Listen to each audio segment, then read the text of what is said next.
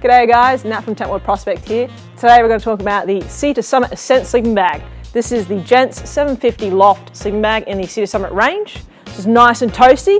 The 750 Loft packs up smaller and they need to use less down for the same warmth rating, which is awesome for you. Now, at the chest end, we've got the vertical baffles so that because you're obviously higher in the sleeping bag around the chest area, it stops the down drifting sideways because you've got vertical baffles stopping it from drifting. Not only that, internally, these baffles aren't straight, okay? They're actually at an angle internally between the inner and the outer layer so that if the baff the down does move, you don't get any cold spots as if you would if it was a straight interior wall. When it comes to the horizontal leg end, um, it just keeps you nice and toasty. You don't need the vertical baffles here because there's not as much height. So you stay nice and toasty with the horizontal position. And the feet, foot end has got extra space for your little tootsies. Now, Brendan, how you doing in there? You pretty toasty, mate? Loving this so much. Great. It's pretty cold here right now, so he is absolutely loving it. Now, when it comes to the uh, 750 Loft bags, they've actually got an extra zip. So they've got a, a third or a quarter zip on the opposite side. So in here, so Brennan can actually release the Kraken. so you can actually still have your hands free. Nice and cool.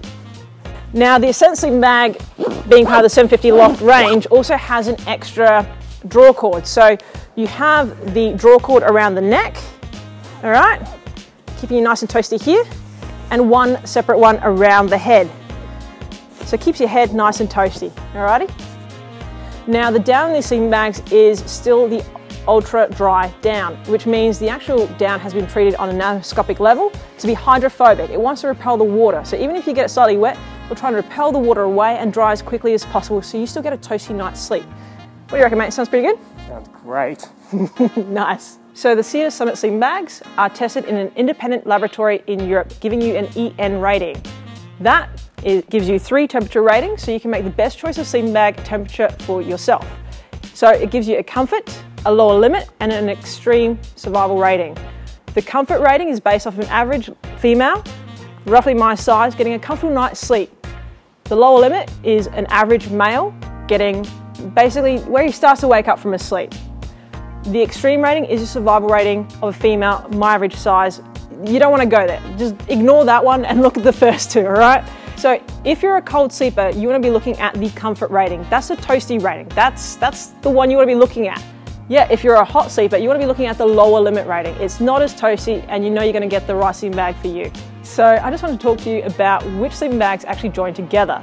So we've got the ladies' journey and the ladies' altitude. They join to either of the trek or the ascent. They're the two gents.